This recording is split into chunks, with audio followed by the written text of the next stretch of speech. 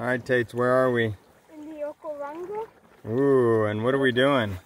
We're doing a, a, little, a little river. Yeah, a mokoro. Yep.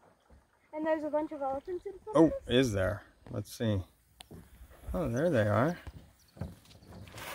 Wow, that's awesome. That's lucky to see those guys, huh, Tates? Yeah.